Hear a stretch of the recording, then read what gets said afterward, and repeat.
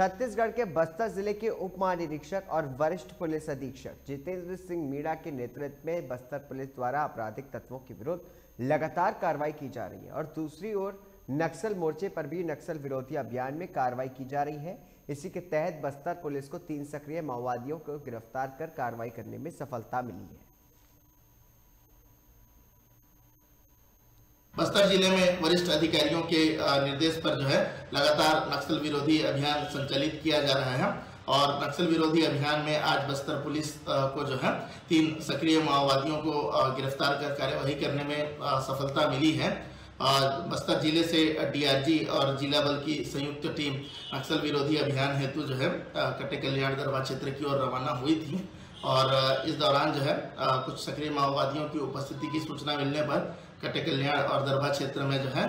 नडेनार गाँव में जो है घेराबंदी किया गया, जिस दौरान जो है, तीन संदिग्ध व्यक्ति मिले, जिनसे पूछताछ करने पर गुड्डी पुड़ियामी लखमा कवासी और हिड़मा पुड़ियामी तीन संदिग्ध व्यक्ति मिले और जिनसे पूछताछ करने पर इसमें जो संदेही है, गुड्डी पुड़ियामी ये जो है क्षेत्र का जो है जन मिलिशिया कमांडर है और जो लखमा कवासी है, वो भी जो है क्षेत्र का सक्रिय माओवादी है। इसके अतिरिक्त हिडमा पुड़िया में भी जो है नक्सल गतिविधियों में जो है संलिप्त होना स्वीकार किया गया है। और इस मामले के जो गुड्डी पुड़ियामी और लक्ष्मा कवासी हैं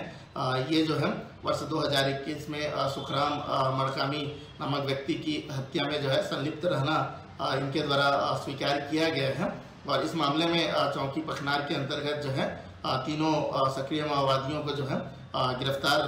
किया गया है, जिन्हें न्यायिक रिमांड पर न्यायालय रवाना किया जा रहा है। और इसमें जो जन मिलिशिया कमांडर हैं, गुड्डी पुड़ियामी उनके ऊपर शासन की ओर से जो है, एक लाख रुपए का इनाम रखा गया है।